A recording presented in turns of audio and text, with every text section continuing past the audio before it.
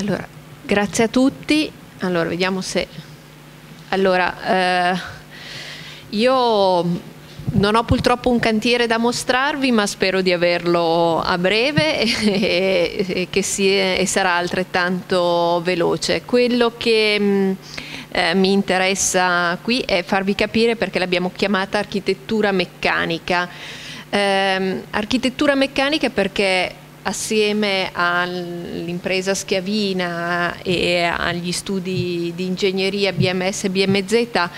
e a tutta una serie di aziende eh, è diverso tempo che stiamo studiando il processo costruttivo, cioè riteniamo che eh, nel momento in cui tanti materiali si stiano evolvendo, sta cambiando il modo di costruire, un, il modo anche di vivere la nostra vita, eh, il processo costruttivo è ancora rimasto molto tradizionale, diciamo che quasi costruiamo come costruivamo, come costruivano ancora i romani. Con il ponteggio, con i problemi della sicurezza, eh, con materiali magari anche un po' obsoleti eh, o con, con, tecnologie non all'avanguardia. Eh, e allora ci siamo chiesti, va bene, tutte queste nuove tecnologie, questo nuovo modo di studiare i materiali che ci ha permesso anche di riscoprire il valore di alcuni materiali tradizionali e nuovi utilizzi anche dal punto di vista eh, dell'inquinamento, dell'ecologia, eccetera, e ha aumentato magari i costi perché qualcuno dice costano di più, eccetera però eh, ci fanno vivere meglio. Allora come possiamo abbattere questi costi, risolvere i problemi della sicurezza in cantiere e eh, probabilmente agendo non sul, sui materiali ma sul processo di costruzione. Quindi abbiamo eh, pensato che eh, tutti quelli che erano gli elementi, che sono gli elementi della squadra di un processo produttivo di un edificio, dovevano essere portati, eh, non incontrati man mano lungo il percorso, ma portati eh, all'interno del processo di mh, progettazione fin dall'inizio, in modo da eh, ridurre delle diseconomie, ridurre dei problemi di cantiere, trovare nuove soluzioni, nuove vie. Per questo abbiamo creato negli anni diversi tavoli tecnici, abbiamo studiato e in particolare mm, li abbiamo fatti studiare attorno a un brevetto che avevamo sviluppato anni fa con BMS e BMZ di costruzioni in acciaio e legno eh, per costruire un edificio intero completamente a terra, cioè senza utilizzare i ponteggi e quindi ridurre i tempi di produzione, i tempi del cantiere e ridurre anche eh, i problemi della sicurezza di caduta dall'alto degli edifici questo, tutti questi eh, studi eh, si sono incontrati con, eh, con, le problematiche diciamo, del, del, terremoto, nel senso che noi stavamo eh, pensando di realizzare questi primi edifici, eravamo eh, pronti ehm, e eh, abbiamo pensato che questo nostro primo, questo prototipo di edificio potesse diventare un edificio vivo eh, per dare una speranza alle popolazioni. E quindi abbiamo riunito attorno all'impresa eh, Schiavina, eh, noi come, come, progettisti più tutta una serie di altri eh, partner tecnici eh, offrire gratuitamente la nostra professionalità e il nostro lavoro per ehm, realizzare questo esempio di architettura meccanica sotto forma di una scuola vera e viva e che faccia rivivere eh, questa, questa, cittadina. Perché secondo me un'altra cosa eh, fondamentale che ehm, che c'è eh, è che eh, secondo me dobbiamo curare se vogliamo eh, vivere in un ambiente o più in armonia con il nostro ambiente e anche curare l'aspetto sociale. E allora la cosa che mi ha particolarmente compito di tutti questi eh, comuni quando eh, sono venuta, abbiamo fatto i giri, eh, è che i centri storici erano distrutti, eh, chiusi perché inagibili. E, mh, e anche le persone si sentivano defraudate della loro socialità cioè non avevano più un posto per riunirsi, anche semplicemente andare a messa la domenica piuttosto che prendere il caffè in piazza o comprare il pane dal panettiere era improvvisamente eh, non più fattibile. E quindi eh, ho creduto molto quando il sindaco ci ha detto voglio le scuole qui, le voglio in centro, perché secondo me eh, in effetti aveva ragione, riportare le persone nel centro voleva dire farle, eh, farlo rivivere e poi eh, partire da una scuola materna, la materna è il primo posto eh, in cui i bambini incontrano la loro vita sociale, mi sembrava giusto. Quindi abbiamo portato avanti questo progetto e adesso vediamo qua come, come funziona, fammi vedere, così. Breccia giù, così. Quindi eh, il luogo è dove sono state abbattute le scuole esistenti, abbiamo logicamente per prima cosa fatto tutti i conti con la burocrazia, ritrovando le superfici di norma, vedendo se era possibile ricollocare nello stesso ambito ancora la scuola media, elementare, materna. E eh, considerate che di tutti gli edifici è rimasta solo la, la mensa esistente che era appena stata costruita e quindi abbiamo fatto il progetto di, eh, scuola, di scuola materna. Questo progetto si basa su questo brevetto, io non voglio uh, dilungarmi troppo dal punto di vista tecnico, sappiate solo che eh, è un sistema che ci permette di costruire fino a cinque livelli eh, di impalcati, tutti completamente lavorando con i piedi per terra, in un sistema strutturale puntuale di travi in acciaio impalcati in legno su una piattaforma in cemento e eh, questo permette di ridurre notevolmente i costi, i rischi del, del cantiere e dà anche una soluzione di tipo eh, antisismico.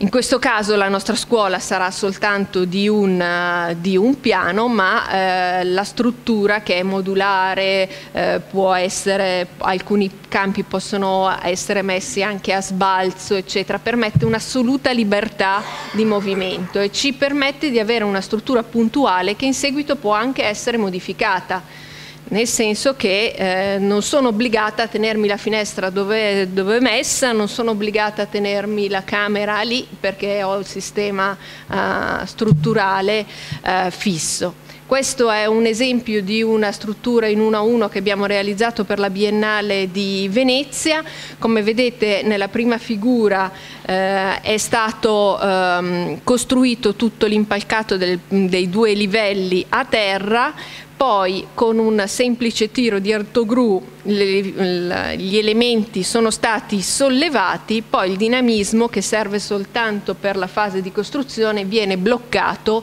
e quindi non, non, non, agisce, non agisce più. Questo piccolo mock-up, anche diciamo se era 5 metri per 3 per 5 metri di altezza, 7 metri, non mi ricordo più esattamente, ehm, è stato realizzato in tre ore. Considerate che in biennale, quando è stato rimontato, eh, ci hanno messo invece una settimana e mezza, no, un giorno e mezzo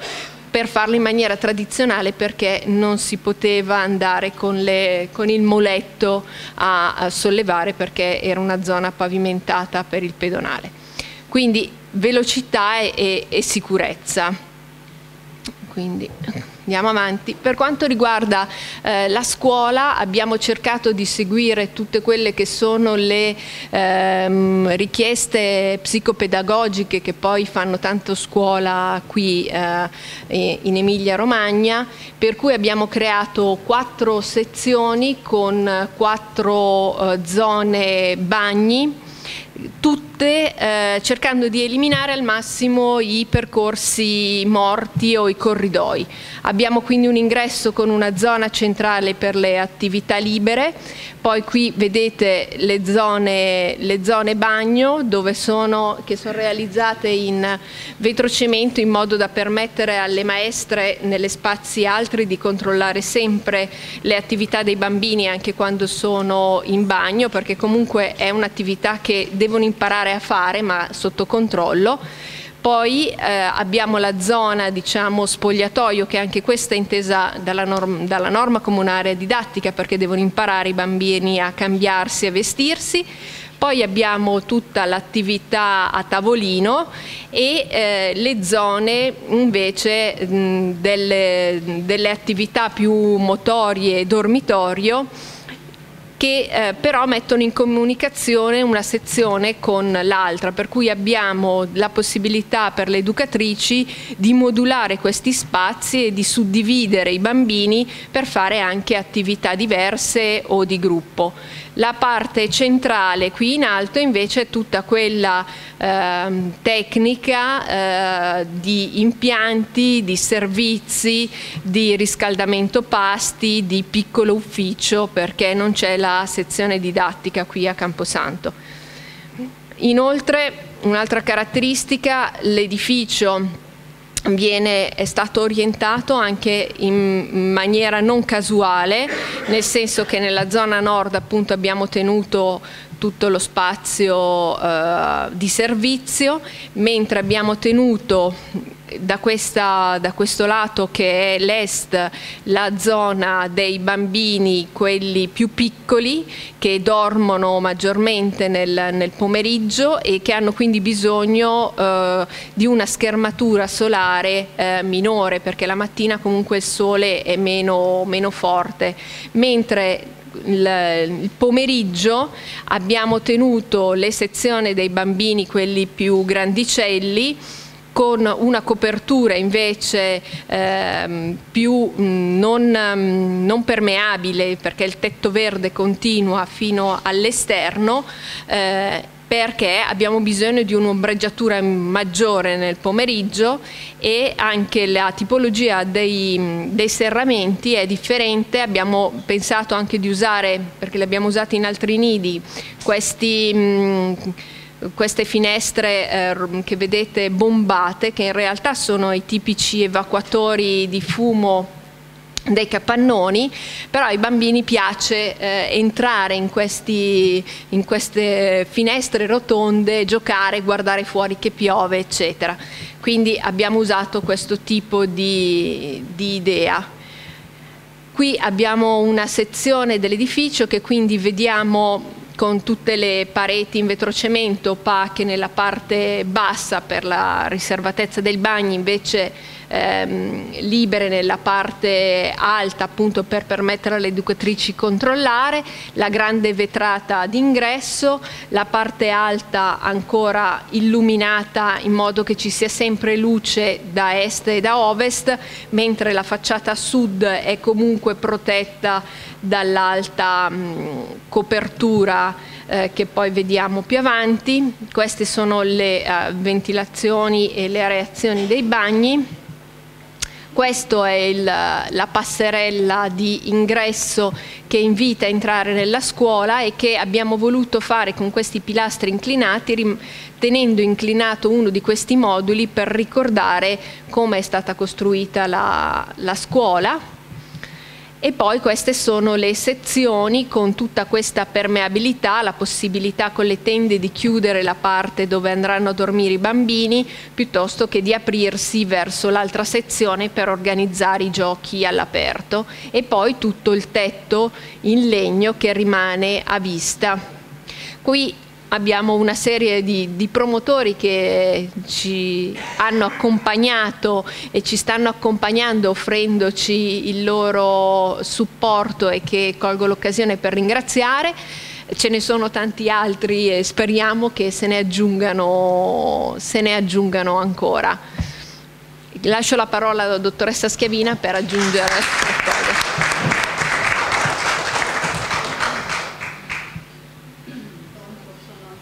Devi accendere? Ecco, buonasera a tutti, sono Maria Carla Schiavini, il presidente dell'impresa Schiavina, impresa di costruzioni eh, di Casalecchio che lavora su eh, tutto il territorio nazionale molto in Emilia.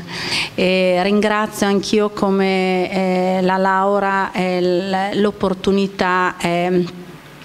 dell'Agenzia del Territorio eh, perché tutto questo nasce da una proposta, una, un lancio, una sfida che mh, mm, è, è un'iniziativa dell'Agenzia del Territorio al quale, alla quale noi abbiamo aderito e, e, mh, mm, ed è stato così che abbiamo conosciuto anche il sindaco di Camposanto perché noi prima di questo evento eh, veramente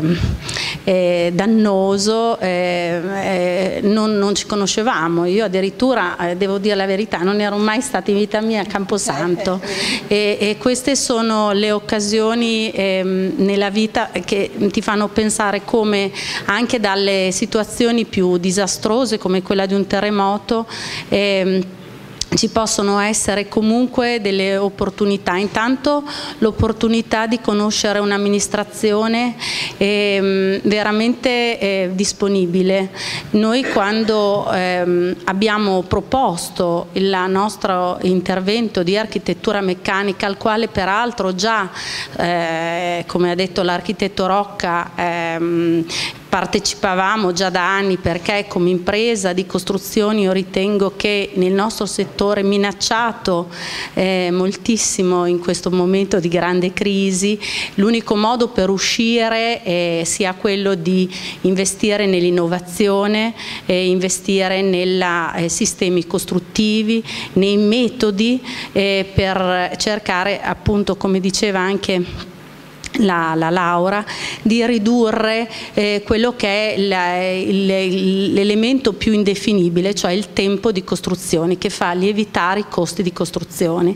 Eh, noi lavoriamo nel settore peraltro del restauro, oltre che nelle nuove costruzioni, sappiamo quanto un cantiere può essere oggetto ad imprevisti e quindi i costi di costruzione eh, devono essere, per poter essere tenuti sotto controllo, eh, devono avere un processo costruttivo rapido e, e, e, e, per far questo ci vuole una progettazione studiata e puntuale eh, molto prima dell'inizio del cantiere e dei lavori. E, in questo io ho trovato nello studio, nelle, nei progettisti